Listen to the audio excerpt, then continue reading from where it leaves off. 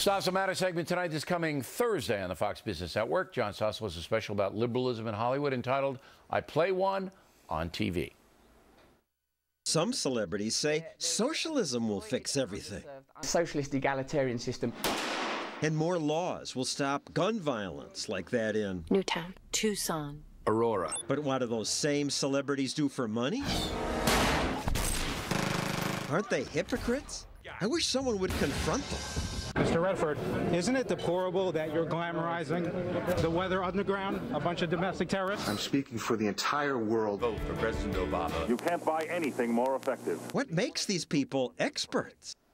Here now is Stossel. So you're pretty brutal on these guys, huh? Well, some deserve it. Who? Leonardo DiCaprio says he's going to take some time off from films now to travel, to fly around the world trying to help the environment. Yeah. to fly around the world? Well, maybe he's going to hang glide. I don't think so. How Harrison Ford, yeah. he owns seven airplanes. Yeah. He gets his chest waxed. Here it is. Yeah. For the rainforest.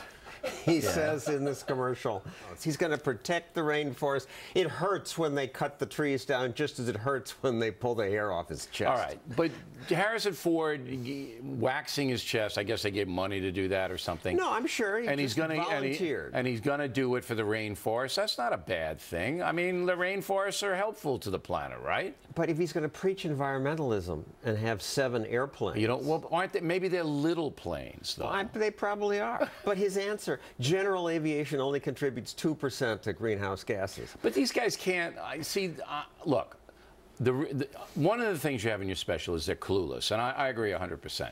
That we when we ask these people on the program, they inevitably don't come on because they know they can't stand up, and they're going to look like idiots.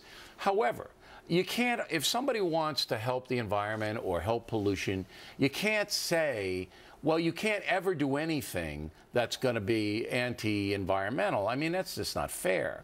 Um, they got to live their lives. Now, somebody like Al Gore, who makes a lot of money on it and then whips around a private jet and has all this air conditioning Huge in his mansion. houses. That, everybody knows he's a hypocrite. Right. All right, everybody knows that's wrong. But, I, you know, a guy like Harrison Ford, I don't know him, but if he wants to help the rainforest and he likes to put around a little plane, I don't, I don't have a beef with him. Now, do you feel that these people, Leonardo DiCaprio and all the other people that you have in your special, did anybody listen to them? Anybody over the age of 25 listen to them? Probably not. Okay. But look, on fracking, which has been one of the best things for the environment in America, Lady Gaga has 30 million Twitter followers. People listen to her. She doesn't even know what fracking is. She thinks it's a clothing but fracking store. Fracking is banned in this state because of people well, like that's her because getting their supporters. Governor. Cuomo, a Democrat, doesn't want to go up against the liberal environmentalists. And the liberals follow the celebrities. But the celebrities, I don't think the celebrities set the agenda.